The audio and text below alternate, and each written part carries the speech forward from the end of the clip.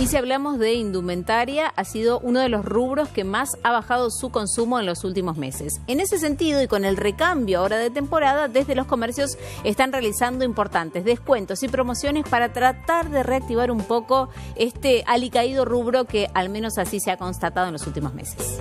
La gente está buscando un poco de, tratar de comprar eh, con los valores más bajos que pueden obtener en el mercado. Lo que pasa que, bueno, también uno tiene un límite porque vos a medida que vas bajando los precios también baja la calidad porque no tenés otra manera de que sea más barato.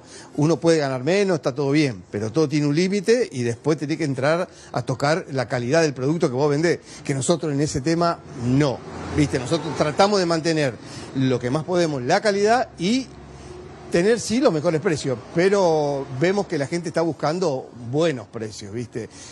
Pero bueno, nosotros siempre tratamos de ver de alguna manera cómo suplantar lo que a la gente le falta con servicio, con producto, con que se lo llevamos a la casa, con que hacemos delivery, con que eh, buscándole la vuelta para que la gente se sienta y que pueda, que es lo que más nosotros queremos y nos parece busca precios. Ahora el público está eh, en eso de buscar bastante precios. Si bien también ha decaído un poco lo que es la venta, eh, lo piensa un poquito más, eh, está un poco más indeciso, se le nota y es entendible, totalmente entendible.